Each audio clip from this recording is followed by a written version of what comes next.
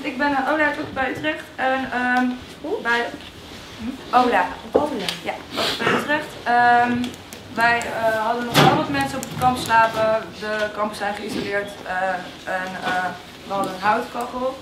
Hans, onze oudste, is wel even met de, met de vries even gegaan. En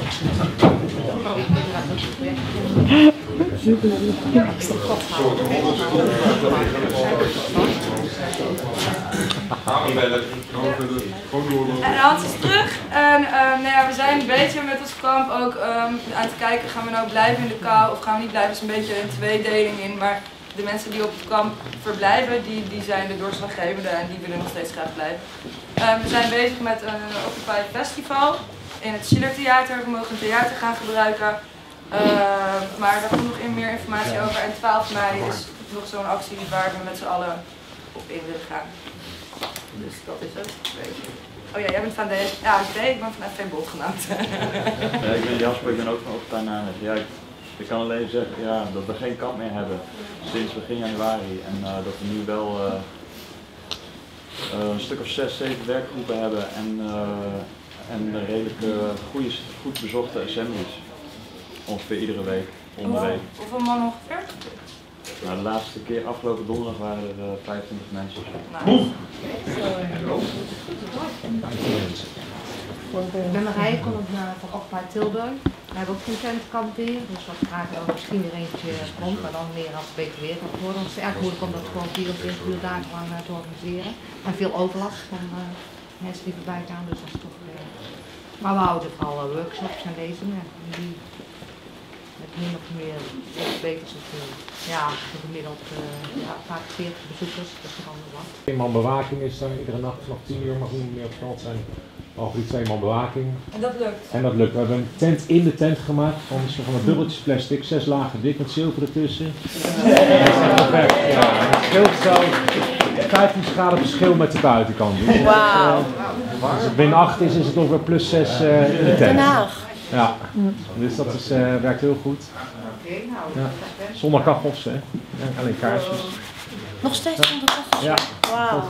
Beetje af hoor. En uh, even om, om, om toe te voegen op, uh, op dat isolatiemateriaal wat we gedoneerd hebben gekregen. Echt super spul. Uh, dat is ISO boosters. Ja, ja ISO boosters. Ene Arthur, een hele aardige vent. Hij kan natuurlijk niet alle Occupy-kampen gratis isolatiemateriaal geven, maar hij zal zeker kortingen geven. Dus mochten jullie nog willen isoleren, of, of ook voor woningen of andere dingen, voor auto's, dan uh, zou ik zeker even kijken op isoboosters.com of NL of zo. Maar ja, dat is echt wel... Uh, te gek spul. Te gek spul, inderdaad, ja.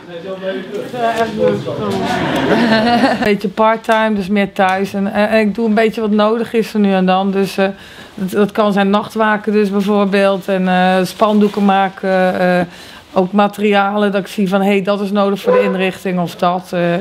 dus ja, ik doe van alles. Ook opruimen heb ik incidenteel gedaan. Of zorgen dat er tafels komen, dat soort dingen. Dus van alles ondersteunend vooral. Van een, boer, van een boer een lap grond ter beschikking om tentjes op te zetten. Let op, op. Om samen met ons te kijken naar een plan waar wij gaan presenteren van 18 tot 21 maart. Occupy Worldwide Meeting in de Kempen. Aan de kennisregio Eindhoven. Onze regio. Onze regio. Jullie zijn er geweest. En ik wilde heel graag presenteren als ik vijf minuten spreektijd mag straks. Nou ja, als je, als je niet kan schilderen of je kan niet timmeren of je, of je nee, bent geen, je bent geen tuinman. Maar voor iedereen is ja, het dan, iets dan kun je, ook, doen. je, je kan sneeuw schuiven, je, je, kan, je kan iemand zijn tuin aanharken, Ja. je kan de, de boodschappen voor een oud vrouwtje Je halen. kan een trui draaien voor je buurvrouw. wat, doe wat iemand je wil leren. Precies. eh, Misschien is, het, misschien is het een idee om... eh, Gisteren iemand uh, uit het water gehaald. Ook een paar Leeuwarden. Ze zaten buiten voor de, voor de huiskamer. Een kampvuurtje. En er kwam iemand uh, door de verkeerde brug aanschaatsen in het donker. Die moest zo nodig naar het station. Die had geen zin om uh, te kijken. Die lag in het water. Toevallig zaten wij uh, aan het kampvuur. Wauw, mooi. Is iemand gered. Ja, Mensen kun je ook doen. Maar reageren op, op elkaar en dan eerst inventariseren, is dat een idee? Ja. ja. ja. ja. Ik wou een voorstel doen, misschien praat ik voor mijn beurt, maar de 25e gaan we de personen discussiëren. Dat is een openbare vergadering in de Akenierswolle. De kruisroetsbonden hebben besloten 31 maart uit te roepen tot anticapitalistendag. Daarbij willen we een, demo organiseren van een volkswijk als verzamelpunt naar een vertegenwoordiger van het kapitalistisch systeem. Dus bijvoorbeeld denk aan verzamelen op Plein Zuid. Twee weken geleden of zo, toen met die brandbrief eh, op eh eh, Access for All kantoor. Dat zag ik ook en toen had ik ook gelijk voep. En jongens, als dit langer doorgaat, want al, er waren 200 mensen in dat gebouw ingesloten. En er ging natuurlijk allemaal media heen. Ze hup, heen met Occupy en Wikileaks spandoeken. Dus ik was al mensen aan het mobiliseren om naar Utrecht te gaan. Om inderdaad de, de ma- mainstream media te occupyen. En toen eh, was ik wel even door gaan researchen. Toen kwam ik in Utrecht wel weer een bericht tegen dat het alweer een, een, een- hè, dat, het on- dat, het niet, dat, het- dat mensen alweer vrij waren. Dus moesten we het skippen. Maar het is zeker wel een goeie om, om inderdaad met bijvoorbeeld Occupy Nederland een soort een team te hebben die, die dat, of een, misschien een soort van belbriefachtige e-mails system dat je in, als er bij jou in de buurt iets gebeurt, Ja. wat op het nieuws gaat komen, dat je daar met een paar spandoeken, al is het maar met drie mensen, maar dat het wat meer in de mainstream eh, zichtbaar wordt. bedrijf, eh, Gold Buyers. En daar staan hele jonge mensen achter de balie. En mensen kunnen daar dus hun eh, goud inleveren voor geld. En ik ben eh, naar, naar die jonge lui toegegaan. Naar hun, en ik heb ze aangesproken. Van, ik heb ze verteld wat de echte waarde van geld is. En, eh, nou, eh, dus de een was eh economie-student. en had nog nooit over de geschiedenis van geld geleerd op school en dergelijke. Ja, serieus? En eh, eh, ik, eh, ik heb er een uur staan praten en allebei waren ze ja, om en boos en gewoon ook Occupy nu en hebben zich aangesloten. Maar misschien is het een plan dus om op, een directe manier juist die bedrijven, die vertegenwoordigers van ons uit daar naartoe te sturen om de werknemers aan te spreken op hun werk, erover na te laten denken en dat mee naar huis te kunnen nemen en hun familie en kennissen daarmee beïnvloeden. Ja, mooi. Misschien is het een idee om allemaal in onze eigen stad naar de lokale media te gaan. Om ruimte te vragen in de wekelijkse eh, krant, in de, op de kabelkrant. eh, je moet mensen zelf laten nadenken. Op zo'n manier. En, en, en elke, Soms een, elke beetje, soms een stad, beetje helpen. en elke stad heeft wel iemand in zijn, in zijn team die lekker schrijft of eh, weet je wel, eh, of eh, lekker kan vertellen. ja, breng het naar buiten. Ja? Ruimte vragen in lokale Nu? media. Lekker, lekker, Ja. alles Ja. lekker. Ja. Ja. ja. Niet alleen jouw zeg maar in het algemeen, hoe zou je zo'n actie dan kunnen doen? Eh, Speelplek mensen, creëren? mensen bewust laten worden als je mensen zelf eh, het heft in handen geeft. Ja? Eh, en je doet het op de juiste manier dat je er vertrouwen in moet hebben dat mensen hun eigen gemeenschap wel kunnen creëren. Daar heb je geen vijf bestuurswagen voor nodig.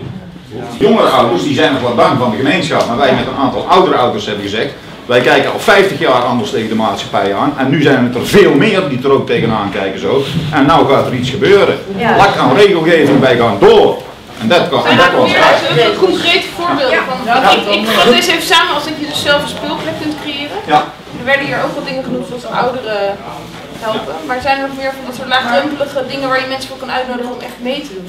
Waar- Waar ik nieuwsgierig naar was, is eh, hoe komen we dan samen en hoe krijgen we dat collectieve gevoel en dergelijke. Wat jij bijvoorbeeld zei, we kunnen gewoon afspreken op bepaalde plekken. Nee, dit is een in real life, eh, deze groep is in real life. Juist, Internet is een andere ruimte. Ja. Eh, dus eh, bijvoorbeeld dat je gewoon stoeltjes meeneemt met z'n allen, van wij gaan in het park zitten of zo. Ja.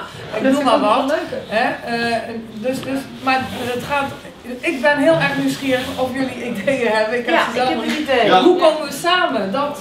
In Arnhem bijvoorbeeld hebben wij een, plek gekregen. Oh, sorry. Want we waren nog Ik wil daar graag inderdaad goed inhaken. Zij zegt wat ik dan net vroeger ook al zei dat we in Den Haag echt gaan zitten, willen we inderdaad ook gewoon op stoeltjes gaan zitten, wat kleine spandoeken en dan gewoon inderdaad kijken van wie, wie komt er bij ons zitten, hè? wie nodig, we gooien het gewoon openbaar Kan ook. En ik heb eigenlijk al eerder aangegeven, eh, het gaat niet over honderden mensen, maar ik woon in Nieuwegein en wij hebben sowieso extra ruimte. Eh, twee kamers waar we wat kantooractiviteiten in kunnen doen en een hele tuin waar we toch best wel wat man elkaar kunnen spreken als het nodig is. Ehm, ik denk dat, ik hoorde net ook al dat een huis was eh, van iemand die het ter beschikking had gesteld.